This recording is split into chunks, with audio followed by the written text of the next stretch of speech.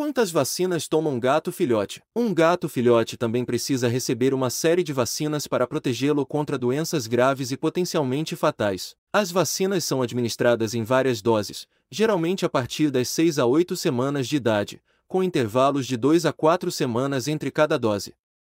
As vacinas básicas para um gato filhote incluem vacinação contra renotraqueite viral felina, vacinação contra calicivírus felino, vacinação contra paleocopenia felina, também conhecida como parvovirose felina, vacinação contra clamidiose felina. Dependendo da região e do estilo de vida do gato, pode ser recomendado outras vacinas, como a vacinação contra a leucemia felina. É importante seguir o cronograma de vacinação recomendado pelo veterinário para garantir que seu filhote esteja completamente protegido. Após a série inicial de vacinas, o gato precisará de vacinas de reforço anuais ou a cada três anos, dependendo da vacina e do protocolo do veterinário.